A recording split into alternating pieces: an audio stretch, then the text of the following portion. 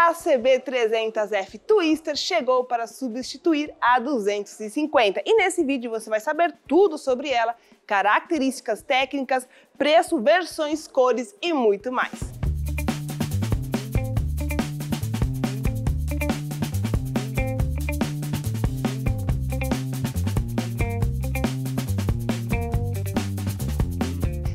Novo por aqui, eu sou Amanda Pagliari, esse é o canal Motoplay, o canal mais charmoso do Brasil e também que traz os melhores lançamentos. Então, ó, se você não está inscrito, já se inscreve, clica aqui no botão embaixo vermelho inscrever-se e do lado no sininho para ativar as notificações e não perder nenhum vídeo. Esta é a CB300, nascida no Brasil e exportada para todo o mundo. No caso, a Índia, a versão indiana que temos lá atualmente comercializada, ela nasceu aqui no Brasil. Os indianos pegaram um projeto brasileiro, fizeram umas adaptações, por exemplo, suspensão invertida e uma versão com conectividade no painel e estão vendendo aí no mercado indiano. Porém, precisamos ressaltar que esse projeto é do Brasil. Mas uma dúvida que muita gente pode ter, ué, se nasceu no Brasil, por que, que a versão indiana é diferente, digamos assim, um pouco melhor?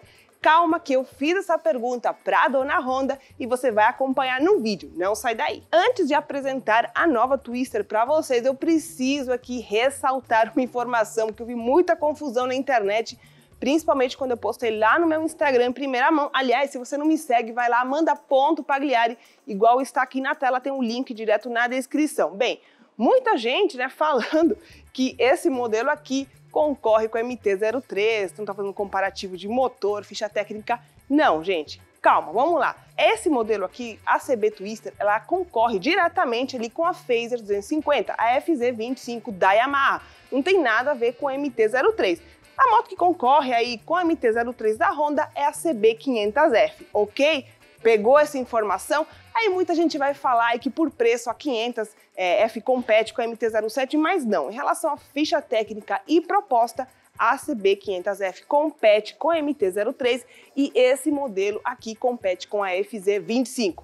Combinado? Beleza, voltando agora para a CB Twister, gente, o design está incrível. Como vocês podem ver, linhas bem agressivas, arrojadas. Realmente a moto passa muita esportividade. O time de design da Honda realmente caprichou. Inclusive, como vocês estão vendo aí na tela, é, basicamente o modelo que foi desenhado é o que foi confeccionado, né? Que sai de fábrica. Então, muito bacana, parabéns aí para todo o time do Brasil, né? Gol do Brasil! Realmente o design ficou incrível.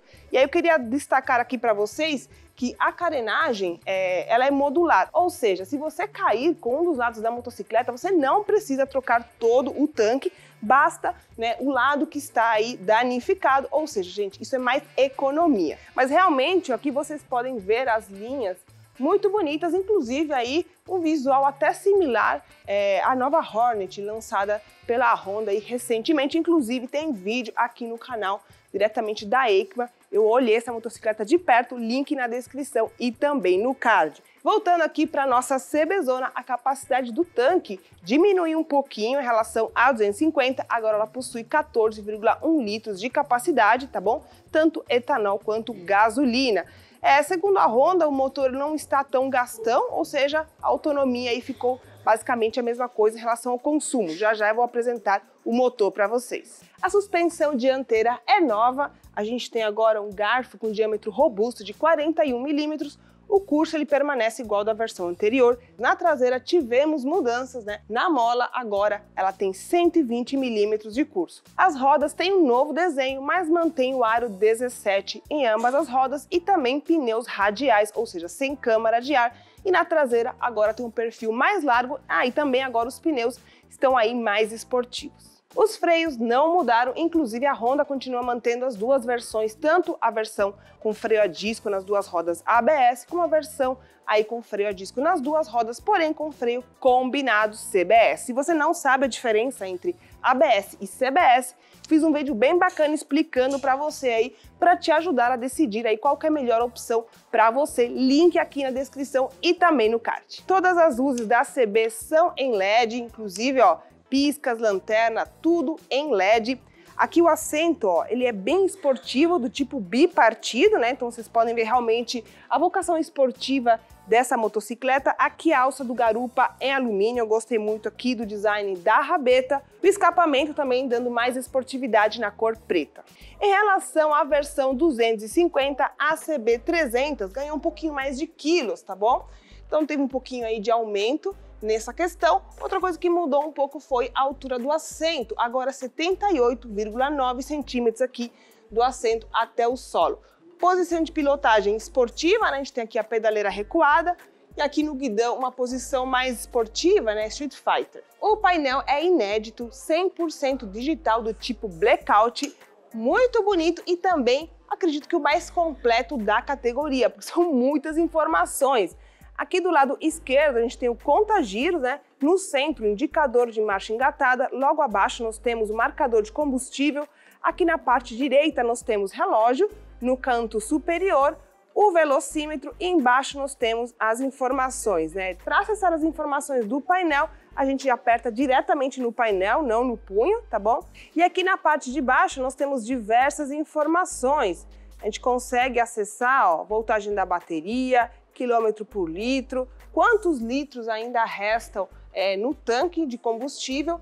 Então você consegue ter a informação parcial. Então imagina que você vai fazer uma média, quer fazer uma média de cidade ou estrada, você consegue aí ter essa informação separada por trip. Eu achei esse painel muito completo, gostei. É, e uma coisa interessante é que ela traz aqui tomada USB do tipo C aqui no cantinho esquerdo. Inclusive tem até uma tampinha aqui para proteger da chuva. Bem, em relação ao motor, o motor é derivado da CB250 Twister, não tem nada a ver, gente, com o motor aí da CB300 antiga, nem tão pouco com XRE 300.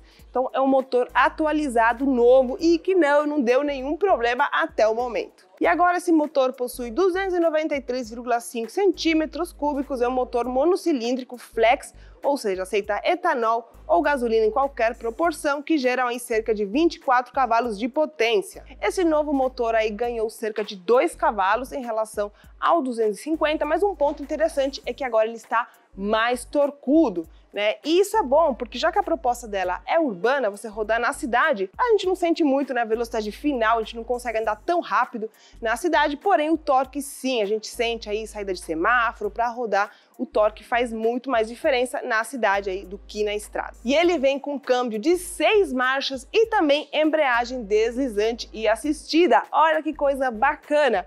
Ou seja, a tecnologia assistida dá mais suavidade aqui na hora de você apertar o manete da embreagem. E a tecnologia deslizante evita o travamento da roda traseira quando você faz uma redução brusca. A gente geralmente vê essa tecnologia em motos maiores, é, esportivas, né, de média e alta cilindrada. Achei bacana que a Honda colocou na CB300.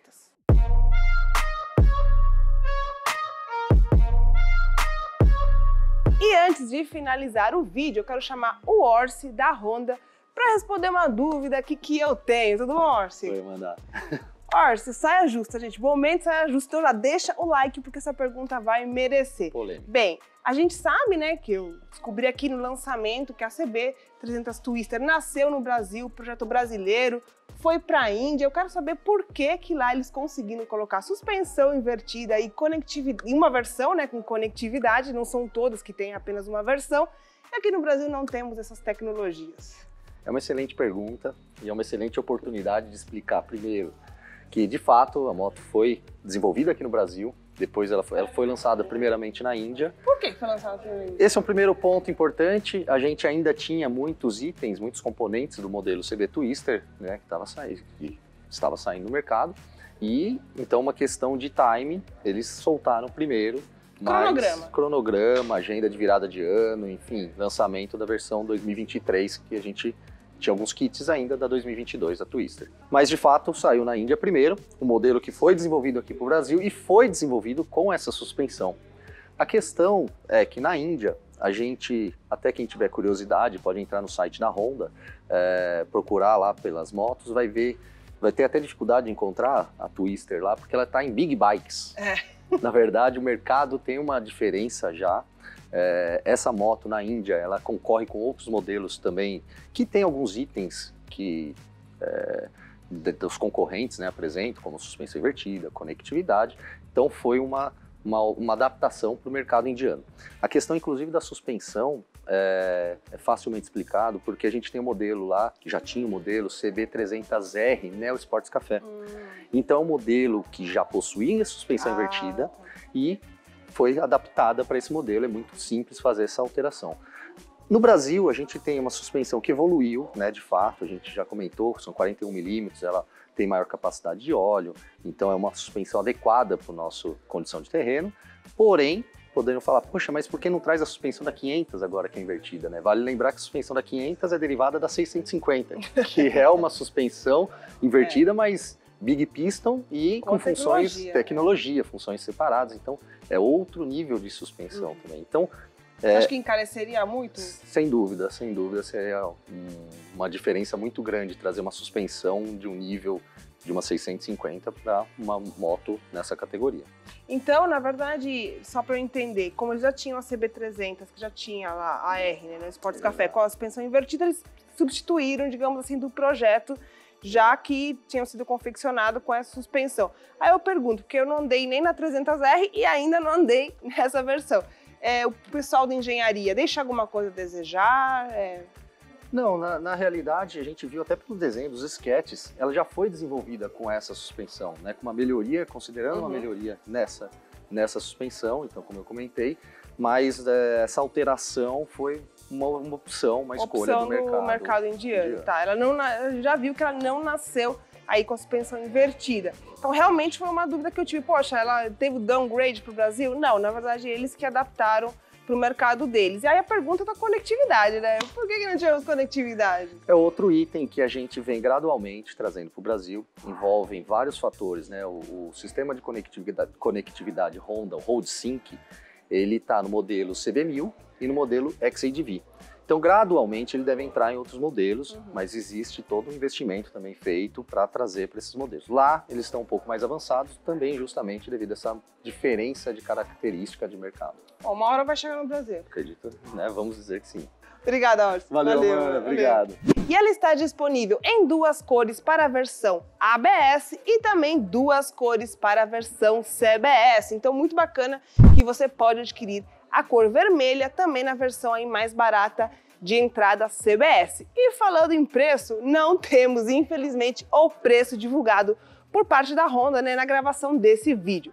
Segundo eles, o preço será divulgado ali lá para o dia 10, 12 de dezembro, então infelizmente vou ficar devendo essa informação para você. Mas assim que eu tiver, eu atualizo o vídeo, coloco na descrição e também no título do vídeo para você saber. E ela vem com 3 anos de garantia e 7 trocas de óleo grátis. Bom, gente, esse foi o vídeo de apresentação da CB300F Twister. Se você gostou, deixa o like, compartilha com os seus amigos e já se inscreve no canal porque vai ter vídeo rodando com essa motocicleta, minhas primeiras impressões aí. A Honda vai fazer o evento em breve, então para você não perder as minhas impressões pilotando esse novo modelo, já se inscreve no canal, clica aqui embaixo no botão vermelho inscrever-se e do lado no sininho para ativar as notificações. E você que é meu inscrito raiz, verifique se o YouTube não tirou a sua inscrição, tá bom?